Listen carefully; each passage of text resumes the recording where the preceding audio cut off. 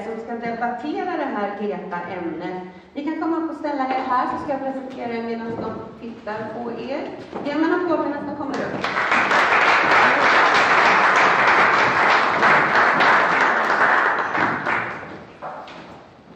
Ja, om vi börjar längst bort här så har vi Jan Rosman, du är skolchef men också ordförande för Kristna friskolerådet. Välkommen. Vi har Sina Aldeveini som är, säger man Aldeveini eller Aldevani? Okej, okay. Som är ledarskribent på Aftonbladet. Så har vi Sakine Madon, du är politisk redaktör för Uppsala Nya Tidning. Hans Eking, riksdagsledamot för Kristdemokraterna. Och så har vi Isabelle, nu ska jag säga rätt här, Smedberg Palmqvist som är skolborgarråd i Stockholms stad. Välkomna allihopa! Ja, men jag tycker att ni... Ja, förlåt. Den behöver jag inte jag har den. Har alla mick? Allt låter? Fint. Då är det så här att vi vet att ni viftar när ni vill säga någonting. Vi slår inte på varandra, vi viftar med mickar och händer. Jättebra. Ja, som sagt, de konfessionella friskolorna är ju heta här och en del, som Liberalerna, vill ju avveckla dem helt. Så har vi Socialdemokraterna som helst vill förbjuda, men nu går fram med etableringsstopp som de tror ska vara enklare att få igenom eh, hela vägen upp i Europadomstolen om det skulle vara så. Eh, och så har vi Sverigedemokraterna som då inte är här, men som, som går fram med förslag på, i alla fall en del av dem, att förbjuda de muslimska friskolorna. Ja, nu skulle jag vilja få en liten hand upp här på det förslaget som nu ligger och som är ute på remiss, etableringsstopp. Hur många är för ett etableringsstopp? Loss. Okej. Okay. Tack. Alltså, egentligen är jag, jag är ju faktiskt ganska glad över Liberalernas eh, omsvängning i den här frågan. Men jag tänker, alltså, bättre än ingenting. Eh, och jag kan kanske säga något ord om varför jag är skeptisk. Alltså den här frågan har ju seglat upp i debatten mycket på grund av just våldsbejakande islamism som har varit ett rejält och stort problem i Sverige. Och jag tror att många svenska politiker har känt att de vaknade till lite för sent Eh, i den frågan. Och så försöker man på olika sätt kompensera och plötsligt blir, blir en sån här fråga som oj, har vi friskolor, religiösa friskolor som har könsseparerat? Eh, och så ska alla liksom rusa åt ett håll och, och larma om det och så eh, liksom dyker upp en massa förslag. Jag är ju, egentligen kan jag förstå en viss besvikelse faktiskt från den andra sidan. Jag är ju då väldigt skeptisk till religiösa friskolor, men jag kan också förstå förvirringen från då de här religiösa friskolorna som under decennier har haft könsuppdelning i undervisningen och så vidare har fått grönt ljus från svenska myndigheter för att göra så. Att plötsligt så ser man den här liksom ganska kraftiga omsvängningen i svensk politik där då de religiösa friskolorna ifrågasätts allt mer. Eh, så det, det, är en sak, men då använder man ju ofta väldigt pragmatiska argument till varför religiösa friskolor är ett problem, just det här segregationsargumentet som jag tog upp. Eh, och just kopplingen då till extremism. Men jag tycker att frågan också berör vem är skolan till för? Eh, och där kan jag förstå att det finns andra som tycker att, ja men vems är barnen? är ju ganska centralt också i den här frågan. Ja, och där, eh, det är en jätteintressant liksom, filosofisk, moralisk, politisk, jättespännande fråga, men där man liksom landar i olika slutsatser. Så för mig är det en väldigt, alltså det här är en väldigt principiell fråga om vad statens ansvar går och inte går. Eh, så att jag, ja, eh, för, för, jag ska inte förlänga mitt svar allt för mycket, jag glider ifrån liksom. men, men för att bara sätta bilden av eh, hur jag ser på frågan så är det faktiskt mycket mer än Ja, men nu de senaste åren så har vi diskuterat väldigt mycket extremism och det i sig är bra. Men jag tycker frågan om religiösa friskolor och statligt finansierade sådana är liksom en mer princip. Det bottnar mer, det finns liksom mer bakom den frågan än bara en aktuell politisk debatt här och nu. Stina, du var för etableringsstopp. Nej, jag måste haka på det. Det är, så här, det är bättre än ingenting. Eh, och jag tänker också att jag vänsar barnen och det är klart att vi ska ha religionsfrihet. Men är det staten? Ska det vara skolpengen? Ska det vara så att det är vi som betalar, alltså alla vi betalar det tillsammans? Och det tror inte jag. Ehm, och apropå de här, jag tror också att det är ett eh, problem som väldigt många har sett mellan fingrarna på. Man har ju sett att den här extremismen, vissa skolor har ju till och med finansierat extremister i Somalia. Det går inte att ha det. Samtidigt så var det bara tre dagar sedan som en skola i, jag tror det var Nyköping, som fick anmärkningar av Skolinspektionen. Den hade kristna inslag. Ehm, och där var det att flickor och pojkar Eh, apropå eh, könsuppdelning, de får inte visa att de är med varandra, de ska vara goda föredömen istället som att de står emot varandra. Vi har skolor som eh, Livets Ord eh, har drivit och det har ju varit ganska stora skandaler, det har varit dokumentärer om det och hur man bedriver den typen av undervisning. Eh, så jag tror att det är bra men jag skulle också vilja ha något mer långtgående för jag tycker som sagt inte att det ska vara staten som betalar för det här. Men då kommer vi in på frågorna, vem ska då betala? Jan, tycker du att staten ska betala för kristna friskolor?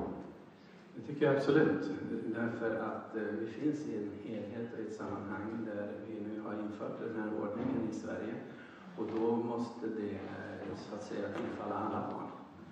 Vart de än kommer ifrån, vad de än tror, vilka familjer de än tillhör från början och så vidare, så måste det tillfalla alla barn, självklart.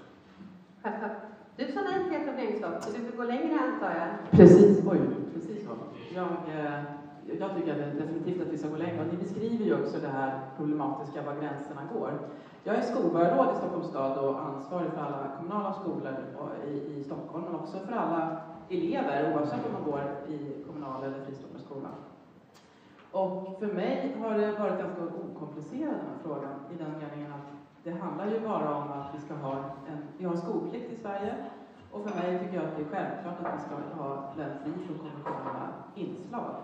Eh, jag är faktiskt själv troende och eh, tycker att frågan är ganska okomplicerad i den meningen att det är självklart att man under skoldagen inte ska ha några religiösa inslag. Men däremot om man vill utöva sin religion eller någon annan verksamhet så har man fritt att göra det både före och efter skolan.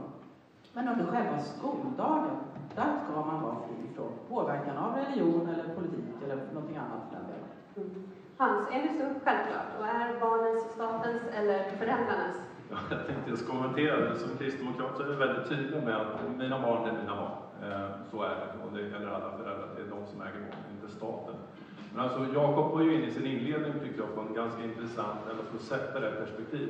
I vårt grannland Danmark går en av fyra barn i konfessionell skola. I Nederländerna går tre av fyra i konfessionell skola. Här går inte ens en procent. Eh, och jag, alltså Liberalernas utspel, och det är synd att Johan Persson inte är här, jag ser det från Örebro båda två. Men jag hade ju så gärna velat ställa en rad frågor. Nu är du här från Liberalerna, men alltså Liberalernas dröm är ju att förverkliga ett samhälle som faktiskt finns på några platser på jorden. Nordkorea, Saudiarabien, Gambia, Libyen och så vidare. Där man faktiskt inte har konfessionella skolor. Som kristdemokrat så säger jag så här, det viktiga för mig är inte om det är judisk, muslim, kristen eller en annan skola, utan det är att skollagen ska följas, läroplanen ska följas och det ska levereras en kvalitativt bra undervisning. Och det är det som ändå på något sätt måste vara frågan när man går fram med ett förslag om att man vill förbjuda exempelvis kristna friskolor. Vad är det som gör att man vill förbjuda dem? Är det så att de inte levererar enligt skollagen eller läroplanen? Är det så att elever mår dåligt? Varför? För i Örebro har vi nämligen tre skolor. Hanna, Grenadier och Kristina. Och det hade varit så oerhört intressant att få Johan att ta ställning till faktiska problem på mikronivå, alltså lokal nivå. Där vi känner elever, lärare, föräldrar. Istället blir det här makro, då blir det, tycker jag, lite grann religionsskräck som ligger bakom huvudargumentet. För att jag skulle gärna bara vilja veta, vad är det som de kristna friskolorna inte levererar eller gör fel, som gör att Liberalerna vill förbjuda dem?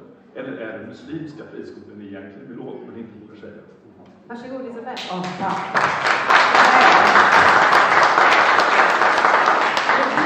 Risken med den här debatten, det är att man fördummar den på det sätt som du gör och gör sådana där påståenden.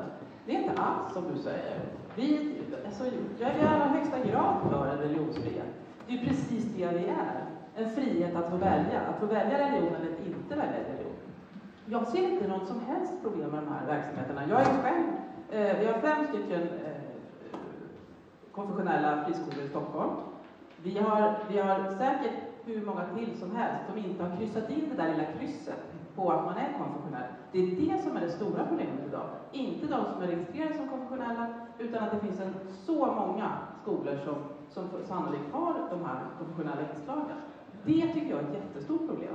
Och när man då jämför, som även Jakob gjorde här, och, och nämner hur många det finns ute i Europa och sådär. Vi har ingen aning om hur, det finns, hur många det finns i Sverige. Det är det som är problemet. Skolinspektionen har ingen möjlighet att inspektera det utifrån de förutsättningarna. Det tycker jag är ett jättestort problem. Det tycker jag, eh, jag ser barnens perspektiv. Men Sakine, liksom, här tycker jag att etableringsstopp är ja, bättre än ingenting. Då. Kommer man egentligen åt problemet då om det är konfessionella friskolor som ska förbjudas när det egentligen inte är själva namnet det handlar om? Är det inte ett slag i luften i så fall? Ja, men återigen, ja men självklart är frågan mycket svårare. Det är ju många av de här problemskolorna som har visat sig faktiskt inte vara konfessionella på pappret. Och, och, det stämmer ju det här att man vet ju inte exakt hur många, så att haka upp sig på då, eh, 72 registrerade konfessionella friskolor, det är också en liksom, ja, eh, sanning med modifikation.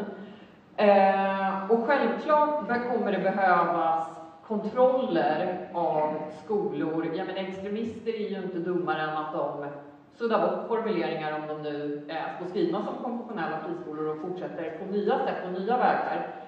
Eh, sen finns det ju också, jag menar, SVT hade här året eh, en dokumentär som hette De utvalda barnen om en Waldorfskola i, i Järna. Så det är klart att det finns, det finns då icke-religiösa skolor och inriktningar som också kan vara problematiska. Jag vill inte egentligen heller fastna i liksom för eller emot just religion. Men återigen, det är en fråga om principer. Ska vi ha statligt finansierade konfessionella friskolor? Nej, menar jag. Eh, sen också, eh, apropå det här, för jag kommer ihåg när jag, när, när Liberalerna släppte sitt, eh, sitt, ja, sin nya riktning då, eh, för inte så länge sedan, då var det ju just kristdemokratiska, eh, eller en av dina eh, riksdagskollegor som twittrade liksom, Ska jag få eh, be en bön innan en riksdagsdebatt? Eh, ska det förbjudas? Ska jag kunna få citera ur Bibeln? Eh, och där, liksom, när man drämmer till med Nordkorea, liksom, vi ska inte kunna få ha någon religionsfrihet överhuvudtaget och så vidare, då tycker jag man blandar ihop äpplen och päron. Som jag ser det är det här en fråga om barnperspektiv. Och, och, och, det är det säkert för många andra också. Men, men det är i alla fall så som jag ser det. Det har inte att göra med att jag inte är troende eller är troende, utan eh, det finns barn som hamnar i kläm om inte staten finns där. Och det här går igen i flera olika frågor. Vi har ett förbud mot barnaga, eh, könsstympning, vi har tidigare eh, infört olika restriktioner mot hemskolning. Eh, innan kunde man också få dispens för att elever skulle slippa vissa lektioner. Allt det tycker jag är bra att ta bort, för att föräldrarna må ha vilka övertygelser de än vill, och man har möjligheter. Jag har tre barn, jag har all, all liksom, rätt och frihet att berätta för dem om mina övertygelser eh, på, men det behöver inte ske under de här få timmarna som man går i skolan. Ja. Ja, det var Magnus Jakobsson som twittrade där och jag upplyste om att jag ber alltid för att jag skulle bli talarstolen i riksdagen, så det blir alldeles utmärkt. Eh, det är, ju, det är ju så här att jag, jag förstod att det, det skapar lite känslor när jag läser upp de här fyra länderna som jag tycker, men Freedom of Education Index, det är där jag hämtar ifrån, så det är liksom ingen egen tolkning jag hittat på. Sen är ju Vetenskapsskolan i Göteborg, tycker jag, ett jättefint exempel på det här slaget i luften som det här liberala utspelet egentligen är. De var inte konfessionell skola överhuvudtaget. Eh, utan man kom åt dem tack vare Skolinspektionen. Och det är ju det som är själva modellen. Jag ser att vi har flera kommunpolitiker från Örebro här. Alltså Kristdemokraterna har bra ansvar för skolan i Örebro kommun. Vi ser till att det är kvalitet på undervisningen. Det är inte huvudmannen som är intressant, utan det är vad barnet får i form av undervisning och så vidare. Det är det som är det centrala. Skolinspektionen, de ska se till, vi la ju mer pengar från Kristdemokraterna just på Skolinspektionen av det skälet att vi vill ha en uppföljning, kontrollverksamhet, så vi ser att skolan fungerar på det sätt som vi politiker har tänkt att det ska fungera med skollag och läroplan och så vidare. Och så tycker jag någonstans att det som stör mig i alltihop det här allra mest är att vi har ju jättestora problem i svensk undervisning. Men vi sitter och debatterar kristna friskolor exempelvis, som jag upplever är ett icke-problem. Alltså, vi gör en stor grej av det här. Det här är någonting annat än just huvudmannen, att den är kristen eller muslim. Det här handlar delvis om oförmågan att se religiös tro som en tillgång i det svenska samhället. Eh, botten så tror jag det ligger. Tack. Ja. Varför är det så viktigt med kristna friskolor? Det räcker inte att man bygger som hav på kvällen hemma. Måste man be före skolhusen också? Alltså för en troende människa så är det ju alltid på det sättet att man är troende. Om man ser på livet på det sättet precis vart man än befinner sig. Tron påverkar synfältet och allting inifrån. Och eh, därför så finns det flera argument för varför konfessionella friskolor behövs. Det första skulle jag säga är mångfald. Att eh, det behöver finnas en mångfald av tankar. Det behöver finnas många olika sätt att se på livet och verkligheten och de behöver få leva tillsammans. Eh, det andra är det med likvärdigheten, att man ska kunna välja eh, som förälder och familj och elev ska man kunna välja ett spår på sin bildningsresa som står i överensstämmelse med föräldrarnas eh, religiösa och filosofiska övertygelse. Så står det i, i de mänskliga rättigheterna. Det tredje argumentet är religionsfriheten. Att, och fullheten av religionsfrihet. Religionsfriheten, när den debatteras i Sverige, så är det ofta enbart den negativa sidan. Rätten att slippa religion. Eh, rätten att värja sig från och så vidare. Men i, i religionsfriheten egentligen så finns det en stor positiv sida. Där barnets rätt till ett sammanhang, barnets rätt till en tillhörighet, barnets rätt till en trygg uppväxt, precis där man råkade bli född den är superviktig. Tina, du har ju skrivit här äh, om just äh, skolor på religiös eller ideologisk grund att det finns en risk att man frestas att tumma på värdegrunden, läroplanen eller skollagen hela tiden. Liksom förstås att barn förvägras möjligheten att göra sina egna val i livet. Slutcitat. Varför skulle den risken vara större i en konfessionell friskola? Vad säger du till dem som tänker, inte det här lite fördomsfullt mot troende personer, att de inte kan vara professionella? Först så vill jag säga att religionsfriheten är extremt viktig. Samfunden i Sverige spelar en väldigt viktig roll. Alltså, jag vet det personligen och jag delar inte min åsikt. Eh, men samtidigt så tycker jag att det blir helt befängt att det ska vara eh, att det ska finnas i skolan som staten betalar. Staten i sig är ju sekulär. Eh, och det kan också handla om just de här vanliga friskolorna som har den här typen av inslag och då blir de ju de facto religiösa friskolor. Och det blir också problematiskt för det som försvinner, det vi har, det vi har sett försvinner, det är evolutionslära, det är sexualundervisning, gymnastik, vi har könsuppdelning. Och där har vi faktiskt en överföring av normer, att även om föräldrar ska få överföra de normer tro och sådär, så ska inte skolan göra det. Och det här är den typen av normer som vi inte vill se överföra på barnen. Och barnen är ju främst sina egna. Och det är som Sakina var inne på, staten ska skydda dem och ibland behöver de också skyddas från föräldrarna. Vi har ett väldigt uppmärksammat eh, mål nyligen där man har svält sina barn till exempel på grund av sin övertygelse. Det ska inte vara så. Eh, och, och med samma logik så kan man säga att ja, man kan ha skolor till exempel, man kan föra över sina värderingar på väldigt många andra sätt men inte inom ramen för just den här skolplikten. Isabelle ska alldeles strax få svara, men Jan Rosman, stämmer det inte att det är ett problem där? Skolinspektionen slår ju även ner på kristna friskolor, till exempel om det hon sa, ablationsundervisningen. Vad, vad, vad, det räcker ju bevisligen inte med inspektionerna. Vad ska man göra då? Det där är verkligen inte ett stort problem. Utan de eh, kristna friskolorna, de är bäst i landet på att skilja på kyrka och skola. De kan de här grejerna framlänges och baklänges. De är superproffsiga. Att sen bli kallad för söndagsskola eller att de lika gärna kan gå till söndagsskola upplever jag nästan som en kränkning. Därför att vi är otroligt professionella i våra skolor. Eh, så jag, jag ser inte problemet. Och sedan när, när man klumpas ihop med det här med begreppet våldsbejakande extremism. Hur många IS-krigare har gått ut ifrån de kristna skolorna i Sverige. Mm, Ni kommer kommer inte hitta någon. Det, det, är ju väldigt modigt att våga säga i och för sig. Jag delar mycket av dina åsikter eftersom jag själv har en, en ganska stark tro och har stor respekt för det du säger. Men för mig är det precis de argument som du för varför vi ska ha konfessionella eh, friskolor i Sverige. Precis de argumenten för jag för att vi inte ska ha dem. just av religionsfrihet. Att rätten att få utöva sin religion, att rätten att få tillhöra ett sammanhang, att rätten till att få leva så som man vill leva.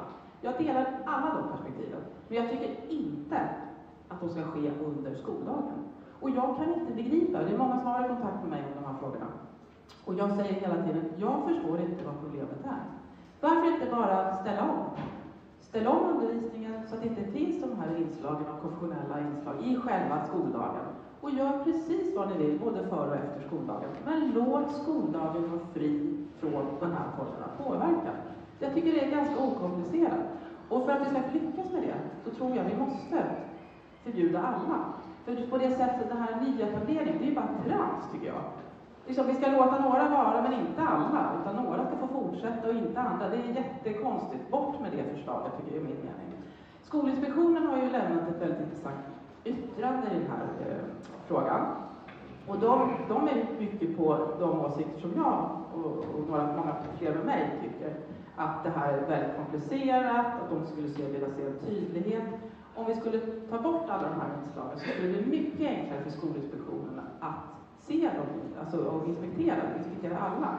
För då skulle det vara så tydligt. Vad är undervisning och vad är professionella inslag?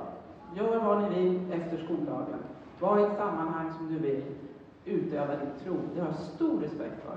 Men under skoldagen ska man vara fri från religiös påverkan.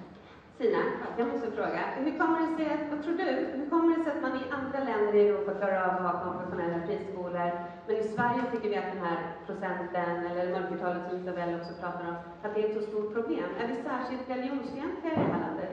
Nej, det tror jag inte. Jag tror däremot att det är ett problem att man ser det som en kränkning att när man inte plötsligt har rätt till skattepengar. Eh, och det är ju väldigt många och det är ju väldigt många som ser det så här, jag blir kränkt för jag vill inte driva den här skolan eh, där jag ska driva ut homosexualitet ur barnen, apropå det. Du pratar om IS-krigare, men det finns ju en massa andra värderingar och normer som kommer in som vi faktiskt inte ska överföra som eh, som nation, som stat. Eh, och det tycker jag blir väldigt märkligt och då handlar det just om att men gör vad du vill på fritiden, driv de här skolorna liksom med egna pengar eller något på söndagar som du blev arg över. Jag förstår inte varför. Det handlar ju om frihet till religion, men också att vi ska kunna säkerställa en ordentlig och god undervisning som inte kommer med de här skeva, skeva normerna. Ja, finns det inte risk att barnen i era skolor då inte på samma sätt får rätten att välja bort religion? Svara på sina tankar där. Jag ser inte det, därför att vi har ju en erfarenhet av hur det är med de som går i våra skolor.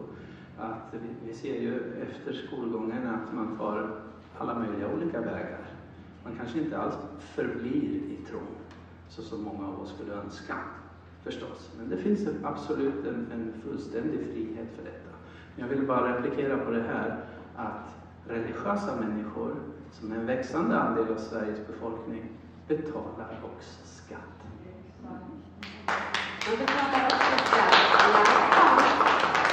om Så här hederskultur, extremism, skolpeng som finansierar islamister som Sina skrivit om. Är det inte egentligen de muslimska friskolorna vi pratar om här som är problemet? Vad säger du? Det är min bestämda uppfattning att det egentligen är de islamistiska, skulle jag vilja säga, inte muslimska friskolor. Det finns bra muslimska friskolor också, men de som, har, de som ligger på kanten och där även Säpo har gått in och sagt att här finns det en risk för att elever faktiskt under skoltid radikaliseras. Och Vetenskapsskolan var ju då en sån skola som eh, dessutom stängdes på sitt uppdrag. Men Jenny Berglund, hon är professor i, i didaktik, religionsdidaktik som det heter. Eh, hon har forskat på kristna eh, religiösa friskolor i 15 år. Eh, och hon, hon förbluffas över det här sättet att bara svepa ihop olika typer av friskolor med varandra. Alltså, du kan inte säga så att alla kommunala skolor är lika. Man har olika profiler. Eh, en judisk, muslimsk, kristen friskola kan man inte jämföra med varandra, men ändå klumpas de ihop. Eh, är Waldorf en del av en konfessionell skola i Sverige? Svaret nej. Men utomlands i flera länder så är Waldorf en del av den konfessionella eh, så att säga, tillhörigheten. Så att vi måste också börja definiera, vad menar vi med religion? Alltså det är ju en fråga som hänger i luften. Vad är religion? Men jag menar på att vi har en skollag, vi har en läroplan den ska alla skolor förhålla sig till och uppfylla. Det gäller både offentliga skolor men också privata friskolor. Konfessionella skolor de utsätts för olika typer av flygande inspektioner. Jag ska bara läsa upp, därför jag satt och bläddrade med telefonen. Sent igår kväll får jag från en mycket känd eh, person inom eh, den kristna friskolan i Sverige. Hon skriver så här.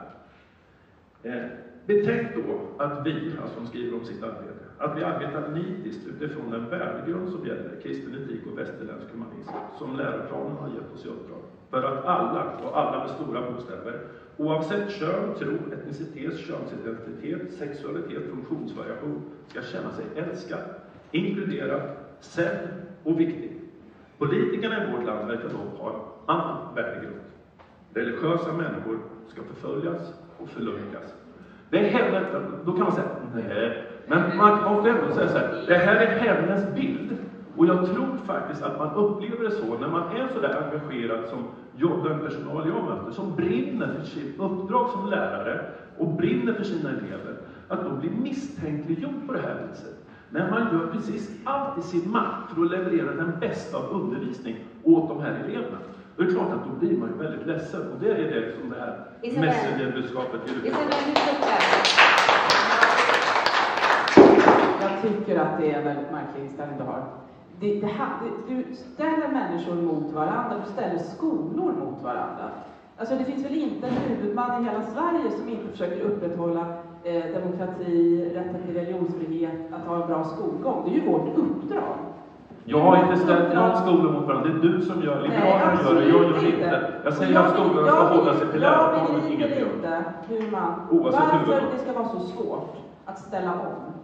Om det nu är så, om ni har en sån fin verksamhet, eller du talar om en så fin verksamhet på de här skolorna, på vilket sätt är det så himla svårt att ställa om så att man inte har delar under skoldagen i konfessionell riktning. Av vilken, ja, men av vilken anledning? Fortsätt besvara då så här. Av vilken anledning måste en kristen friskola som sköter sitt uppdrag på det korrekta sättet, varför ska de ställa om? Därför att, vi, varför? därför att vi måste säkerställa att alla barn har rätt att vara fria, både från religion och politik. Det är ganska självklart. Tack Isabel. Sina? Eh, du säger att eh, eh, skattepengar ska gå till konfessionella friskolor och så räknar du upp en rad eh, exempel. Sen. Menar du då att man skulle kunna få driva eh, konfessionella friskolor utan skattemedel? Nej, men däremot så måste jag, jag måste kommentera.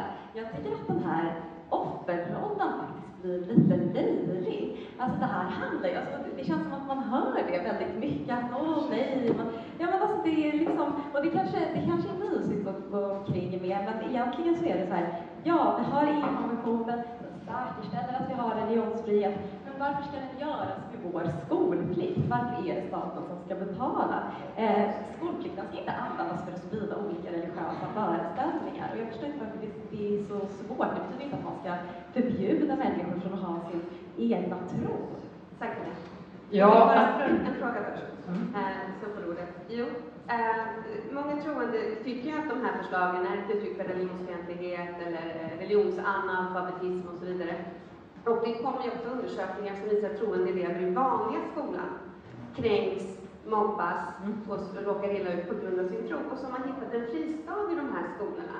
Kan man förstå att det känns som att man är ute efter just dem, att man vill ta bort deras fristad? Vad tycker du om det? Ja, alltså när jag har läst bland annat dina inlägg i, i den här frågan så tycker jag att det är ju ett viktigt perspektiv. Eh, det är någonting som skolor absolut behöver grubbla över. Hur bemöts barn som har andra tankar eller är religiöst övertygade i, så att det inte blir okej att liksom, ja, repa kanske framförallt kristna barn. Eh, men, så där, där, där, finns det ju någonting väldigt viktigt. Men eh, samtidigt så, min lösning är ju inte att man ska flytta på den mobbade i så fall. Då är det ju skolorna som måste ta itu med mobbning.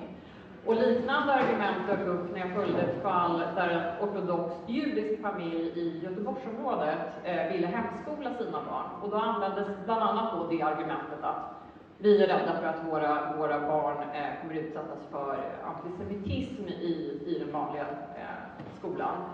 Och återigen, alltså, det, man måste ju ta itu med mobbningen. Det är ju fruktansvärt. Eh, men lösningen är då inte att flytta på den mobbade. Alltså man måste, med samma argument skulle man ju säga att ja, hbtq-barn ska ha en egen skola, överviktiga ska ha en egen skola. Alltså det, blir, det, det är inte så jag vill ha eh, svensk skola. Men får jag bara säga någonting om det här med skatt? Alltså även våldsbejakande extremister kan tänkas betala skatt. En del av dem i alla fall, om de inte skattefifflar eh, och, och ägnar sig åt välfärdsbrottslighet. Eh, även liberaler betalar skatt. eh, om de inte är nyliberaler kanske och, och hittar sätt att fuska sig förbi det. Nej men skämt åsido, alla betalar vi ju skatt. Men jag tror att det är få, eh, inte heller Kristdemokraterna till exempel, som tycker att det är okej att bidrag har gått till att främja våldsbejakande extremism. Så att det är klart att det finns en, en skillnad på vad vi tillåter och vad vi aktivt stödjer med, med skattemedel. Eh, en fråga där jag har varit väldigt engagerad eh, är ju den här om könsseparata badtider på kommunala badhus.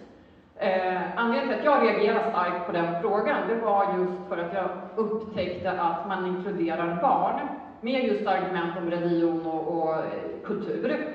Eh, och barn ner till fyraårsålder eh, skulle då separeras med de här tiderna och gjorde det också. Nu har de tack och lov plockats bort i kommun efter kommun.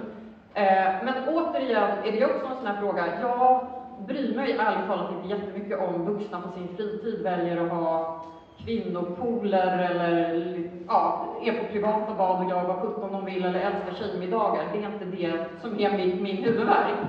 Men när det berör barn och är offentligt finansierat så sänder man också med eh, skattemedel faktiskt en signal om att då i det fallet få hedersnormer till mötes. Men, men Hans, eh, nu har ju riksdagen nyligen skärpt eh, kraven för konfessionella friskolor. Eh, det har, ju bevisligen inte varit nog eh, för Skolinspektionens granskningar, alltså frågan jag ställde till Jan också. Vad ska man göra då för att komma åt de problemskolorna och inte de som sköter sig, tycker Kristdemokraterna? Ja, alltså vi vill ju, eh, som jag berättade tidigare i inlägg, vi, vi gav alltså Skolinspektionen mer pengar i vår budget än vad alla andra partier gjorde. Av det skälet att vi vill ha en skolinspektion som kan fullfölja sitt uppdrag. Det är ett viktigt uppdrag. Men jag menar, vi har ju en situation där, där vi blundar för det stora problemet. Ta den här invandrartjejen som inte hade varit i skolan på två år. Hon hade inga betyg överhuvudtaget. Hon kommer till en kristen friskola i Örebro som heter Hammarskolan. Där finns det 400 elever idag. 1000 barn står på kö för att komma in till Hammarskolan och få gå där. Det här man vill förbjuda dem. Den här tjejen, när hon kommer till Hammarskolan så upptäcker man att den andra skolan där de har gått, de visste i princip inte ens att hon har varit frånvarande. Eh, man har satt in så enorma resurser. Och den stora glädjen som jag mötte när jag var där eh, förra året, och vi kom ut nian med fullständiga betyg. Alltså, kristna friskolor, de fyller en sån oerhört viktig funktion. Så på lokalplanet, alltså sossar kan stå på riksplanet och hålla på med sin demagogi, demagogi och det kan man göra även för Liberalerna, de svarar fortfarande på min fråga lokalt.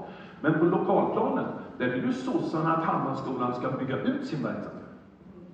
Varför? Jo, därför att det är en skola som fungerar. Och det är en mångfacetterad skara av barn. Jag har varit där med min partiledare jag var först. Det är inte så att det är någon speciell grupp individer som kommer dit, utan det är alla typer som söker sig till skolan. Varför då? Därför att den fungerar och fullföljer sitt uppdrag på ett professionellt sätt. Isabel? Ja, men utmärkt! Ja, men den ska förbjudas. Det är väl jättebra? Nej, den ska inte förbjudas. Den ska, vi ska ta bort de konfessionella inslagen. Varför blandar du ihop korten? Det handlar inte om att, vi, att det ska förbjudas. Vi vill inte ta bort de, eller de här skolorna. De får fortsätta, de får ha, fortsätta med sin bra verksamhet, göra det arbete som de verkar ha gjort jättebra på den här skolan som du ger exempel på. Jag har en rad andra skolor som jag kan ge exempel på som också gör de här eh, insatserna för den här flickan och motsvarande tjejer i, i, i eh, samma situation. Men att liksom, det handlar inte, jag fattar inte faktiskt vad det är som är så svårt. Jag förstår inte. Vad är det som gör att man inte kan ta bort de konfessionella inslagen under skoldagen? Det hotar ju inte den här flickan. Tvärtom. Hon får ju komma i ett sammanhang som hon sannolikt trivs i. Hon får gå i skolan under hela dagen och inte ha konfessionella inslag under själva skoldagen. Och sen får hon göra vad hon vill på fritiden. Isabel, medan Jan eh, får en fråga här så kan du fundera på, eh, vi vill gärna höra hur du ska få igenom det i Europadomstolen sen när du ska argumentera. Jan, varför, varför kan ni inte bara ta bort de konfessionella inslagen då, som Isabel föreslår? Berätta. Alltså jag har eh, två svar på den frågan. Det ena är att är man en konfessionell person så är man konfessionell precis hela tiden och då spiller det över när man, när man är levande och verksam på sin arbetsplats. Så är det. Eh, bättre tänker jag då är att man redovisar varifrån mina tankar kommer så att alla får göra det, varifrån eh, ens eh, undervisning kommer. Men jag har ett konkret förslag istället för att förbjuda, för det är otroligt tråkigt och jobbigt att bli förbjuden. Jag vill inte bli förbjuden. Jag vill vara levande och verksam i svenskt utbildningsväsende. Det bättre förslaget är, plocka bara bort det där ordet konfessionell ifrån skollagen. Plocka bort det förhatliga ordet icke-konfessionell. Poff! Borta. Sen får vi alla leva i en religionsfrihet. Jag vet inte riktigt hur det skulle lösa problemet. Vi värnar ju barnen. Ja, men, men barnets rätt är ju till sitt sammanhang Ja, jag- oavsett vad det är men för vi, sorts. vi delar upp- uppenbarligen inte samma uppfattning i den här frågan. Jag bara slapp på den där frågan om Europakonventionen. Eh, jag är jurist också, så jag har, gått, jag har faktiskt fördjupat mig i den här frågan rätt så ordentligt. Och jag tycker ju detta är en tolkningsfråga, absolut. Både från Europakonventionen och barnkonventionen, där man återigen sätter barnens perspektiv i första rummet. Så det här är väldigt intressant att pröva, om det blir prövat, hur det här kommer att utvecklas. Jag är ganska övertygad om att vi kommer att få rätt. Mm. Spännande. Regeringens utredare är inte lika övertygad. Eh, Sakine, vi ska alldeles strax runda av och släppa in lite frågor. Men Sakine och sen Hans och sen eh, Tina får du sista ordet. Jo, men alltså man märker ju när alltså frågans laddning är ju väldigt intressant och vi blir ju väldigt engagerade allihop. Jag hörde någon här i publiken som sa att barnen är föräldrarnas eller någonting i den, i, i, åt det hållet. Och jag blev faktiskt påhoppad i den här debatten en gång, eller inte påhoppad, jag är inte så kränkt. Eh, Men, men eh, jag- Svenska Dagbladets ledarskribent Mattias Svensson, eh, han hävdade i någon text vid ett tillfälle att Sarkin och Madon vill inte att barn ska kunna få bli som sina föräldrar. Och det är faktiskt inte det det handlar om, utan det handlar om att barn ska kunna få bli någonting annat än vad deras föräldrar är. Hans, sen Tina, sen ska vi släppa in lite frågor. Jag tänkte just säga det att Hedvig Bennit som alltså är expert, var en av de här experterna man hade i den här utredningen om konfessionella inslag i skolväsendet. Hon har just specialiserat sig på svenska grundlagar och Europakonventionen och EU-rätten. Jag citerar Bennit som konstaterar så här att det blir citat särskilt känsligt om man ska sätta stopp för just konfessionella skolor när man säger att man får starta skolor med andra inriktningar. Slutstopp. Eh, hon är, hon är en av landets främsta experter, så hon ser ju att här finns alla möjligheter att det här kommer faktiskt inte att, eh, ja, det kommer inte vara enighet med Europakonventionen helt enkelt. Inte enligt Europakonventionen. Sina? Nej, men det verkar verkligen skada det här att man inte får föra över sina värderingar på sina barn, tycker man. Men här handlar det inte om att man för över sina egna värderingar på sina barn, det handlar om att man för över sina värderingar på alla andras barn också som går i den skolan. Och problemet blir också, jo men problemet blir då också att då har vi människor som ska försöka driva ut homosexualitet, man får inte visa att man är ihop, man ska vara ett föredöme. Eh, vi har den här radikaliseringsprocessen till exempel. Ja, men det är ju många, för tre dagar sedan bara så var det ju ett eh, exempel här med en kristen friskola som gjorde exakt det här. Ja, det kan jag tänka mig. Eh, och det här blir ju problematiskt. Eh, och jag tror att gör inte det här med statens pengar, för som sagt, alla betalar skatt, men det betyder inte att man har en rättighet att få allting skattefinansierat som går i linje med ens egen övertygelse. Ja, jag vet att det är många som vill säga mycket mer, men vi ska släppa in publiken om ni har några frågor. Felicia får en mick och du får eh, prata in om, om frågan kommer till dig, Isabel. Så, eh, och nu vill vi ha föreläsningar ifrån publiken då, utan frågor. Ja, det går ju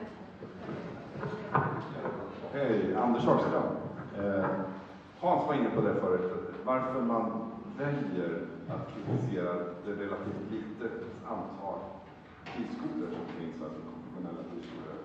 Och blundar för det absolut största problemet, att den kommunala skolan i väldigt stor utsträckning är riktigt kris, i krisläge. Eh, jag tittade på en lista på de tio sämsta skolorna i Sverige. De var alla kommunala och en av dem var den som jag gick i högstadiet på. Och jag kan känna att där har vi det stora problemet. Vill man ta bort de bästa skolorna i Sverige istället? Det. Oj, oj, oj vad du ger dig in på en fråga som gör mig... Bara den där, den där listan på de där tio sämsta skolorna, alltså det är fruktansvärt hur man kan vinkla eh, statistik. Det är elever som kanske har kommit till Sverige för två år sedan. Eller elever som inte har varit, har varken, varken sina, någon av sin mamma eller pappa har, har eftergymnasial utbildning, kanske inte ens gått i skolan. Hur man överhuvudtaget kan bedöma de skolorna som de sämsta i Sverige, det är bedrövligt. Det är inte samma förutsättningar som många av de barn som går på de eh, konventionella skolorna eh, gör. De flesta har välutbildade föräldrar. Det är det som är nyckeln. Vad gäller våra kommunala skolor, jag är så trött på att vi talar illa om skolan. Jag är så trött på att vi pratar illa om lärarna. Vi har, vi har en sån fin skola i Sverige. Självklart så finns det utmaningar. Jag är själv ansvarig för 140 grundskolor i Stockholm. Det skiljer sig väldigt mycket naturligtvis mellan elevunderlag och förutsättningar. Men vi har så välfungerande fina skolor i Stockholm och vi har så fina välfungerande skolor i övriga Sverige också. Sen finns det utmaningar. Det spelar inte någon roll om de är konfessionella eller inte konfessionella. Det är precis samma utmaningar i alla skolor. Jag heter Levi Abrahamsson och eh, jag har gått i kommunal, kommunal skola innan. Jag hade ett väldigt dåligt betyg på 155 i merit. Jag gick över till en distansskola då. Det kanske inte må vara en av de bästa jag varit på heller. Men jag gick upp från där 150 till 255 genom att vara i en skola.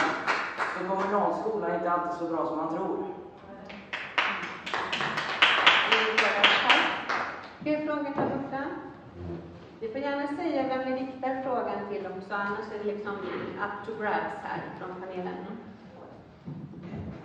Nej, men när jag lyssnar så, så, tycker jag att jag saknar mycket av historien. Alltså, eh, Stina, du talade till exempel om det här med att statens, barnen ska säga, eh, ja, staten finansierar skolorna och då, då, då, är det det som gäller. Men alltså de här internationella kom ju till för att vi hade stater som missbrukade sitt mandat. Man sa att det är faktiskt ytterst föräldrar som måste ha rätten att, att välja väg till sina barn. Till exempel utifrån hur Nazityskland agerade. Och det finns en väldigt historielöshet här kan jag tycka. När ni talar så oerhört varmt och oförblåst om staten. Jag tror att kanske är det så att vissa av oss som faktiskt tillhör minoriteter är lite mer känsliga för det här majoritetstrycket. Jag upplever att det inte alls är så ideologiskt neutralt som, som vissa i den här panelen verkar vilja få det till. Din fråga? Ja, en reflektion kring det. Alltså det finns en historia här. Jag, jag tycker det, det är ganska farligt med historielöshet. Är det en farlig historielöshet, Tina? Jag är jätteledsen, jag uppfattade inte riktigt frågan. Eh, jag eh, förstår att det är din åsikt. Eh, jag tror inte att det handlar om historielöshet. Jag tror att det handlar just om det som jag har pratat om här i snart en timme. Det handlar om att skydda barn från den typen av normer och värderingar just inom skolplikten som, som, som blir så märkliga när man tar bort till exempel just sexualundervisningen, när man har könsuppdelad undervisning, när man driver ut homosexualitet ur människor. Eh, nej men, även om det bara händer en enda elev, ska det vara okej då? Och ska det vara okej att vara skattefinansierat? Nej, det tycker inte jag.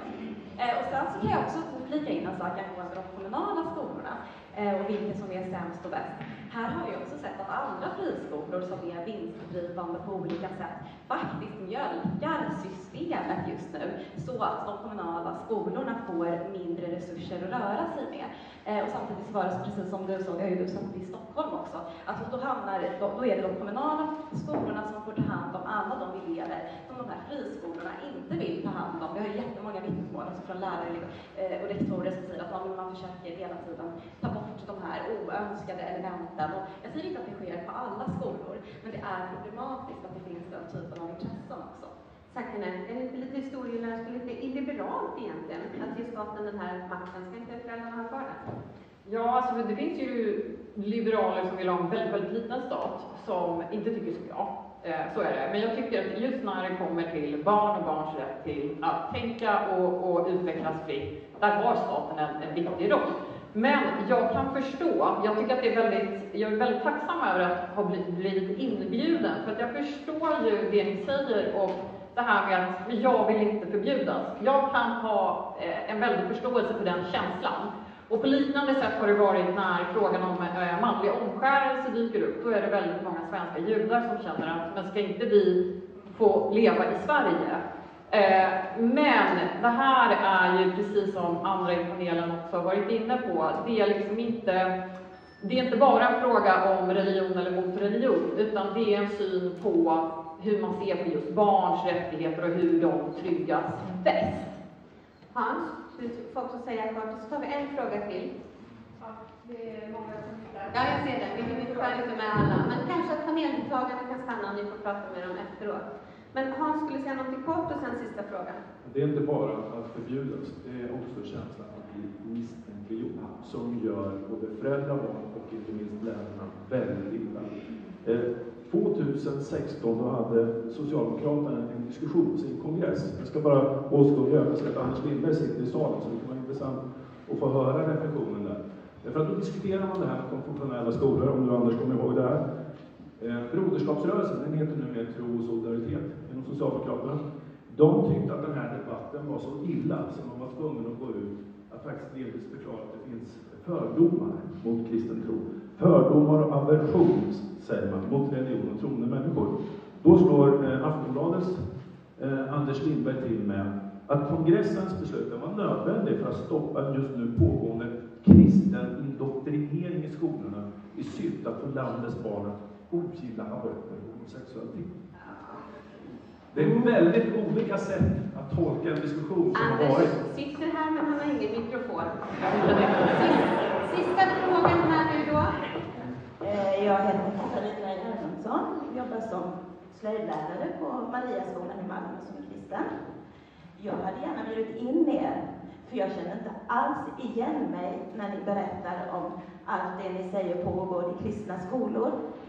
Vi har, man får inte ens välja, alltså alla elever, tjejer som killar, har lika mycket träslöjd som syslöjd. Vi har inget. Vi har elever som kommer från kommunala skolor som har sexuella problem. De känner sig trygga på vår skola. Vi har muslimer som sätter sina barn på vår skola för att de vill ha det här studieron. Skolinspektionen har kollat precis allt och vi har fått med beröm godkänt. Eh, vi har inte så många kristna elever dock, men från området som är låg social standard, där är många barn som kommer som får hjälp. Vi sätter in hjälp, när, även om inte de har fått diagnos, diagnoser så sätter vi in hjälp. Så att jag vet inte vilken skola ni har varit på, men ni är välkomna till Mariaskolan i Malmö.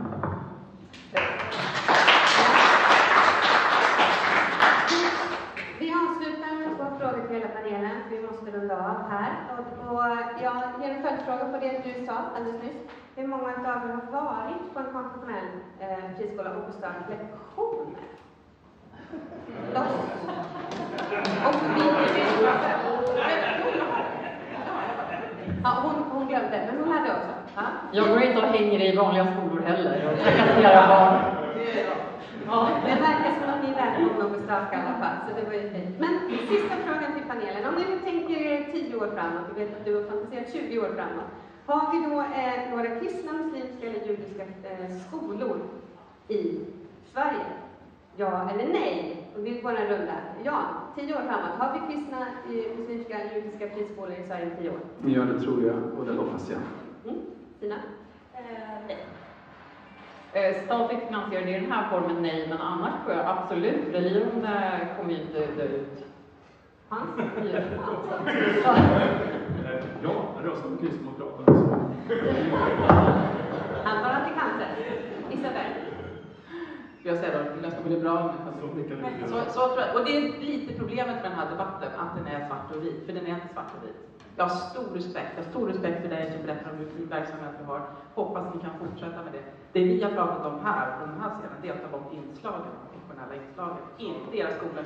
Så svaret på din fråga är ja. Tack för frågan Vivian. Vi ger dem en applåd.